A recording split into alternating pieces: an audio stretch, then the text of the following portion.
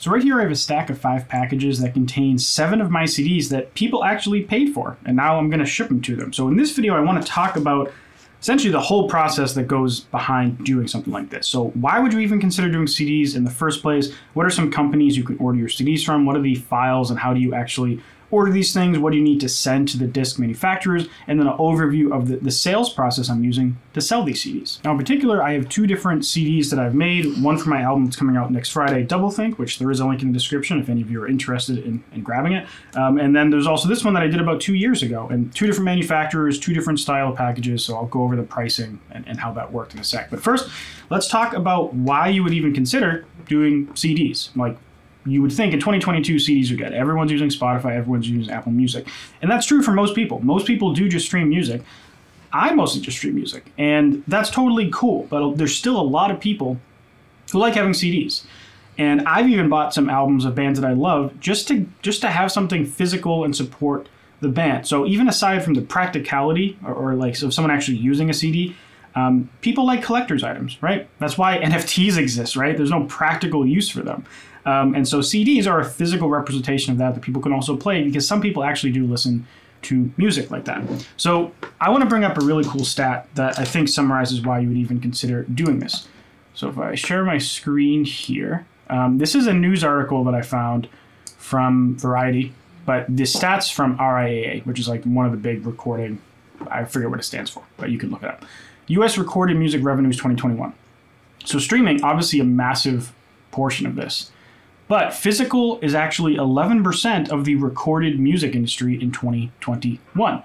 More than double digital downloads. In fact, it's almost digital, almost almost d- double the combination of digital downloads and sync licensing, which is crazy, right? And and in particular, in terms of what the numbers were in 2021, there were 41 million CDs sold, 40.6 million actually, and f- almost 42 million vinyl sold.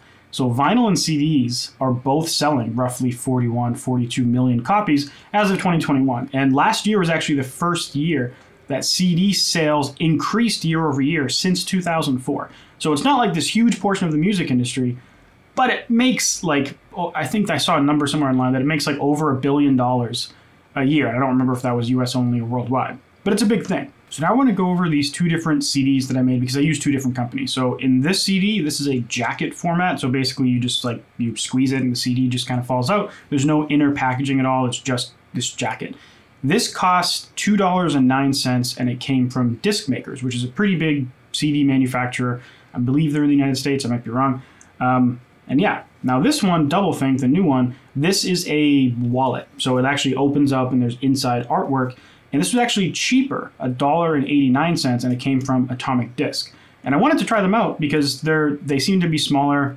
They're in the United States as well, and um, they were cheaper, right? And it's also the packaging is actually more sophisticated than the one I got, and it comes in a resealable like cellophane thing, whereas this is a shrink wrap. So I'm selling these CDs. I dropped it. I'm selling these CDs as signed, and so to sign this one, I just open up the packaging, take it out, sign it, put it back in. This one, I can't because it's shrink wrap. Once I take off the shrink wrap, the shrink wrap is ruined. So that's kind of an inconvenience. I don't know if Disc Makers has an option for that they charge extra for. Um, but also with Disc Makers, you can't sign the packaging. It's like too glossy. And again, don't know if they have an option for matte finish. But if you sign this with a Sharpie, it just kind of falls off. It doesn't stick. Whereas this, it's you can sign the actual packaging. So what I did for signed copies of this, I signed the actual CD instead. This one, I, I actually designed the packaging because inside of this, I have a QR code that people can scan, takes them to a private website where they get some free content. So it's almost like this is like a ticket to an online vault of free content. Um, but under that thing, I left some empty space where I could personally address and say like, you know, hey, so and so, thanks so much for supporting my music, and then I sign it. So I left like a actual place that I could sign, which I really like. So let's take a look at Atomic Disc because both of these CDs, they they're physically they were made great. Both these companies do great work. But I'll go through Atomic Disc real quick just so you kind of have an idea of how this process works. So in their products and services section, by the way, not a sponsor, not an affiliate. I'm not getting anything from this, although Atomic Disc hit me up if you want to do something like that. Um, but they have a bunch of different formats. So in this case, I use the Wallet Lite. But they also do jackets, which are even cheaper.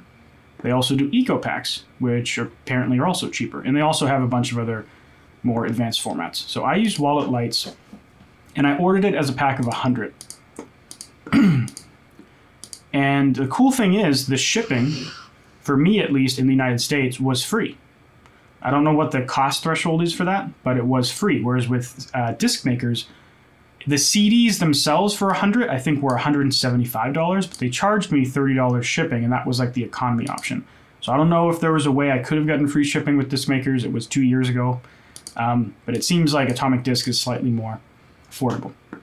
So you get to pick a bunch of options. You can add an insert, which is like a like a piece of cardboard stock paper that you can insert, add your own graphics on. So if you want to put some cool artwork on it, you can design that and put that in. They do have mastering services if you need it, and they also have graphic design services because we're going to cover that next. How do you actually make the, the packaging for these CDs? It took me a while, um, but you can just have them do it. And then they can also add a barcode, which you don't really need um, unless your thing's going to be physical. I just I've thrown them on both because they don't cost anything. They're free barcodes. Um, so if for some reason I was selling it in a physical place, there would be a barcode for them to scan. And then you name your, your project and you can do a, a reorder. So that's the general process. And after you do this, you upload your files. So now let's talk about the actual files that you need. So in general, there's two different assets that you would deliver to your CD manufacturer, whoever it is. There's going to be the audio files and there's going to be the artwork files. The audio files are pretty self-explanatory. They need to be 16-bit, 44.1 kilohertz audio files. Uh, some services might convert the files for you. So if you have like a 24-bit file or you have a 48 kilohertz file, they might convert it for you. But the best case is to deliver 16-bit 44.1 kilohertz. Apparently, if you don't deliver them in this format and they don't convert them, there could be glitches and pops when your your CD is played in certain uh, CD players. So it's good to just make sure you, you com- you're compatible with everything you can be. Um, and just re-render those files or dither them or whatever to convert them to the correct format so that you don't have any issues. So that's the audio files. Very self-explanatory. Probably use the highest quality waves you can get. They'll give you your own manufacturing standard, whatever company. They'll tell you exactly the files you deliver. Similarly, um, Atomic Disc provide, and also see uh, disc makers, provides templates for various softwares. So in my case, they provided one for both Photoshop and Illustrator, and I think they provided just like a PDF if you have something different. But I use the Photoshop template. And so essentially, this is how you lay out your CD. Now, I do want to point out that I, I have hidden some stuff on here. So like down here, I had a QR code. Um, if I put that there, you could just scan it, and I want to keep this special just to the people who buy the CD. So if you want it, links in the description. I also have some text here, but again, I wanted this text to be special. So th this whole thing's filled out with text in the actual CD, but I want to keep it special for people who get the CD. So what you do, you know, this is the wallet lite format. So they, they show you up here that this is the front cover, this is where it gets folded, this is the back, and this is the inside right. And let me actually open up a CD so you can see that. So you, you can see there, there's the front and the back, and that's what these are. And then this inside right portion gets folded over here, and that's what actually, and I don't want to flip this over because you'll see the QR code, but that gets folded over, and then basically it's one sheet of paper, it's get folded and glued and stuff. So that's that's how this CD format works. Um, and then you basically design the opposite face. So I already had my artwork which was this. This is what's actually getting distributed to like Spotify, Apple Music. But then I had to design all this other stuff, right? Like these are all, this is like a text thing. This is my logo. This is a text thing. I had to pick all the colors. I had to get this little like website copyright symbol. Um, but all these other like lines and stuff, this is them telling you how you lay out your artwork. So like they're telling you where you're where they're gonna cut. This yellow or this pink dash line is where they're gonna cut. Um, or sorry, the green ones we're gonna cut. The pink is like the bleed line where they want your artwork to go there, and then this is like the safety region, so like make sure all important elements are in there. Because cutting and folding is not perfect, so that's why there's all these margins for error. Um, and yeah, so you just lay it out. I put some special stuff inside. So if someone like looks inside where the CD was, they'll see like a little message that says "I love you," and then there's these artwork files that are also inside those things. So you know you can get a little fun with this stuff and, and think about let's adding little Easter eggs if you wanted to, and that's where the idea for the QR code came. And if you just look up online QR code generator, you can find out how to generate your own QR codes. It's entirely free. You don't need to pay for anything. Um, there are ones you can pay for though if you want more sophisticated functionality. Now, similarly, you'll get a template either Atomic Disc or Disc Makers or anyone else, they'll give you a template for the CD as well. So basically, it's a similar thing. You just slap your artwork on it, and you, you can just lay out how you want your CD to look. You can put whatever you want on it, basically. So the biggest rule of thumb, whoever you use, just make sure you follow, like they'll tell you exactly we want this, this, and this. Here are some asset files for you to go make these artwork things and send them to us. They have to be in this format. They have to be this. Make sure you follow the rules exactly to avoid any issues. Atomic Disc, uh, the way it worked is I sent these in. They gave me back a proof with my file saying like, hey, this is what it's going to be. Double check this. And there was something wrong initially. And the cool thing with them is I just called them on the phone and I got I got in contact with the actual graphic designer that prepared my file and I was able to talk to him and say like, "Hey, why does this look like this?" And he explained to me, and he was like, "Oh yeah, it should be fine. Don't worry about that. Order them. They were totally fine." So he was right. Um, cool thing, I don't know if Disc Makers has that, but Atomic Disc was nice to get like a real human on the phone nowadays when so many companies don't don't have that. So now I want to talk about how I'm actually selling these CDs. Now in terms of the marketing side, there's social media posts, there's messaging my email list, and then there's also Facebook ads. But the actual place that I'm selling these is a landing page. And I'm I built this on Thrivecart. This I do have an affiliate link if you want to want to see Thrivecart. Um, it's in the description. This is what I use to sell all my courses. And so it's kind of an expensive software, but the nice thing with this compared to something like ClickFunnels is ClickFunnels cost 100 a month for the minimum plan. Thrivecart's like 700-ish for a lifetime plan. So ClickFunnels 100 a month, Thrivecart 700 lifetime. So I've been using this for like two years now. So I've saved a lot of money by using this instead of ClickFunnels. Um, but you can set up some sophisticated funnels with this. So you can see here, I just got a, uh, this was actually just a fake picture because I didn't have the physicals when I made this. I should probably swap it out. And I'm just telling people like, hey, this CD is regular 15 bucks. You can get it for free. It's a pre-order. I'd love to send you a signed physical copy for free. And the way that this works is it's a pay what you want offer. So they can put literally zero dollars in here. And I'm just charging for shipping and handling. So this is what's called a free plus shipping and handling offer. You've probably seen them on television. Get now, free plus shipping and handling, and the shipping and handling is like $19.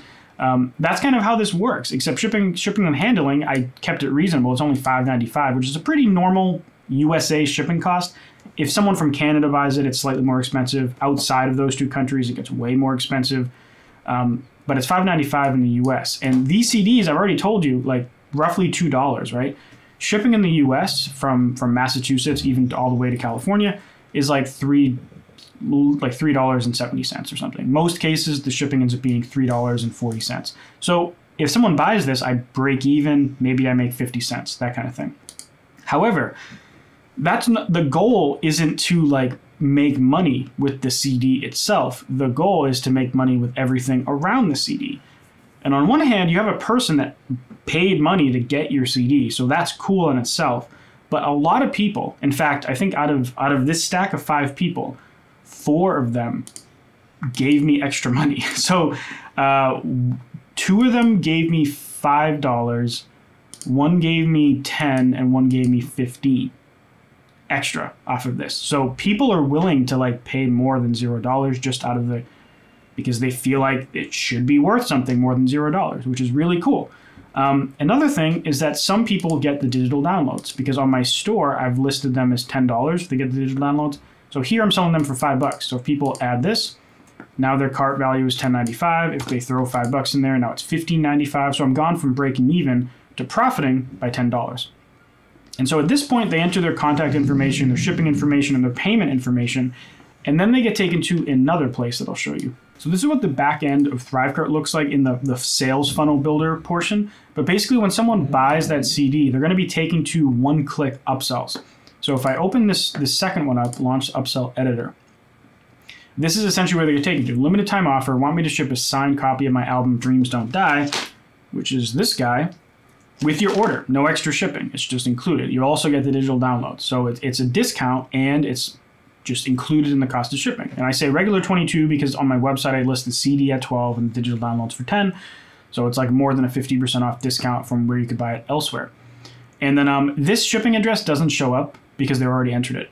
So basically, the only thing that shows up is this text, this, and then they just click yes, upgrade, or no, and then it just automatically adds that to their order because they already entered in their credit card or their PayPal information. So it just adds that money to their order. And now we've gone from uh, a 15, a $10 profit to a $8 profit, some, or sorry, uh, $18 profit because this is an extra 10. CD cost about two, so it's an extra eight bucks.